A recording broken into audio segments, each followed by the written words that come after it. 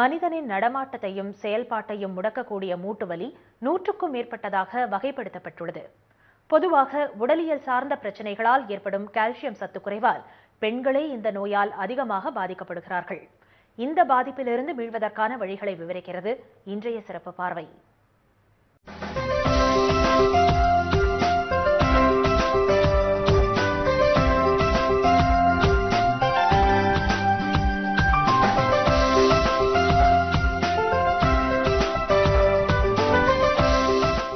வலுவிழந்த தசைகள் வீக்கம் தாங்க முடியாத வேதனை நடக்க முடியாமல் முடங்கி போவது இவையெல்லாம் மூட்டு வலியால் வரும் பாதிப்புகள்.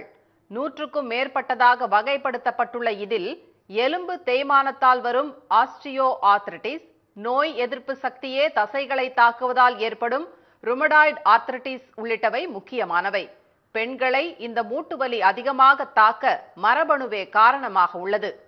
பெரும்பாலும் பெண்கள் பிரசவம் மற்றும் மாதவிடாய் போன்ற பல இன்னல்களுக்கு ஆளாகிறாங்க இப்போது அவங்களுக்கு பார்த்திங்கன்னா ஜென்ரலாகவே உடம்புல வந்து கால்சியம் டிஃபிஷியன்சி வர்றதுக்கான வாய்ப்பு மிகவும் அதிகமாக இருக்குது எல்லா மூட்டுலேயுமே வந்து அந்த எண்டில் கார்டிலேஜ் அப்படி ஒரு ஸ்பெஷல் டிஷ்யூ இருக்குது. அந்த டிஷ்யூ வந்து லியூப்ரிகேட் பண்ணிவிட்டு ஜாயின்ட்ஸ் ஃப்ரீயாக மூவ் ஆகிறதுக்கான முக்கியமான காரணம் அதுதான். இப்போ அவங்களுடைய மரபணுவிலேயே பார்த்திங்க அப்படின்னா அந்த கார்டிலேஜினுடைய ஸ்ட்ரென்த் குறைச்சலாக இருக்கும். ஸோ அதனால் அவங்க நாளடைவில் அது தேய்மானத்துக்கு ஆளாகிறாங்க மூட்டு வலியிலிருந்து விடுபட இயன்முறை மருத்துவரின் வழிகாட்டுதலோடு பெண்கள் சில பயிற்சிகளை மேற்கொள்ள வேண்டும்.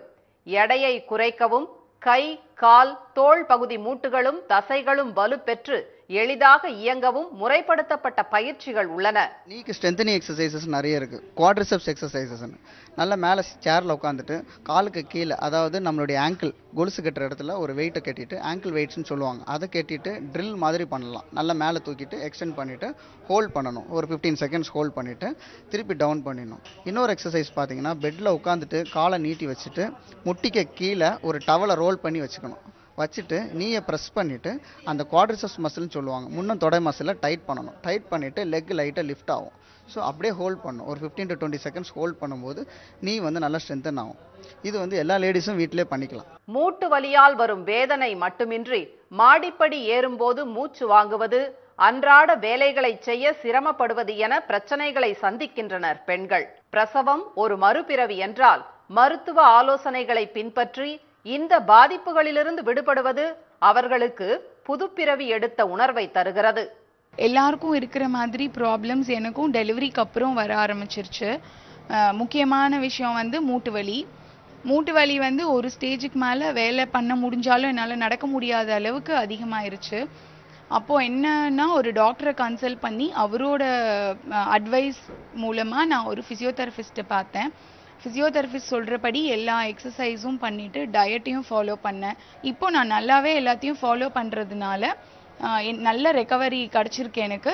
வீட்டு வேலையெல்லாமும் நல்லா பண்ண முடியுது. ஸ்கூலில் விடுறது கொண்டு போய் விடுறது அதுக்கெல்லாம் டூ வீலர் ஓட்ட வேண்டி வரும். அதையும் பண்ண முடியுது என்னால். கால்சியம் சத்து குறைவால் ஏற்படும் மூட்டு வலியை தவிர்க்க குழந்தை பேறுகளுக்கு இடையே இடைவெளி விட வேண்டும் என்கின்றனர் மருத்துவர்கள். விட்டமின் டி சத்தை உடலில் உருவாக்கக்கூடிய வெயிலையே பார்க்காமல் வேலை பார்க்கும் கணினி யுக இளைஞர்களும் இந்த பிரச்சனையிலிருந்து தப்ப முடியாதவர்களாகவே உள்ளனர். ஒரு ஒரு பிரெக்னன்சிக்கு இடையில நம்ம அதை ஸ்பேஸ் பண்ணும்போது அந்த கால்சியம் டிப்ளீஷன் இருக்காது. இல்லைன்னா என்ன ஆகும்னா அடிக்கடி நம்ம தொடர்ச்சியாக ப்ரெக்னென்ட் ஆகும் பொழுது அந்த கால்சியம் உடம்புல இருக்கக்கூடிய கால்சியம் ரிசர்வ் குறைஞ்சு விடும் விட்டமின் டிங்கிறது எப்படின்னா நம்ம நார்மலாக சன்லைட் நம்ம மேலே படும் பொழுது அதனால் உற்பத்தி ஆகக்கூடிய ஒரு விட்டமின் இந்த விட்டமின் டி ரொம்ப முக்கியமான ஒரு அங்கம் வகிக்குது இந்த கால்சியம் மெட்டபாலிசமில் சாஃப்ட்வேர் கம்பெனியில் வேலை பார்க்குறவங்கெல்லாம் பார்த்தீங்க அப்படின்னா அவங்க வீடியோ காலில் போயிடுறாங்க. அதுக்கப்புறம் சாயங்காலமாக தான் வர்றாங்க. இதனால் என்ன ஆகுது அப்படின்னா அவங்களுக்கு வெயில் வந்து உடம்பு மேலே படுறதுக்கான வாய்ப்பு மிகவும் குறைவாக உள்ளது. ஸோ அந்த மாதிரி சமயத்தில் என்ன ஆகும் அப்படின்னா விட்டமின் டி டிஃபிஷியன்சி அவங்களுக்கு கண்டிப்பாக வரும். ஸோ அதனால் அவங்களுக்கு ஜென்ரலைஸ்ட் பாடி பெயின் அதாவது அசதியாக இருப்பது பின்ன அடிக்கடி முதுகு வலி வர்றது இந்த மாதிரி சில விஷயங்கள் ஏற்படலாம். சுறுசுறுப்பான செயல்பாட்டுக்கு தடை போடும் மூட்டு வலியால் உடல் பருமன் அதிகரித்து மன அழுத்தம் இதய நோய் எலும்பு முறிவால் முடங்கும் நிலை வரவும் வாய்ப்புகள் உள்ளன. எனவே கை கால்களை அசைக்க முடியாமை வேகமாக செயல்பட இயலாமை தூக்கமின்மை உள்ளிட்ட அறிகுறிகள் தென்பட்டால் உடனடியாக மருத்துவரை அணுக வேண்டும்.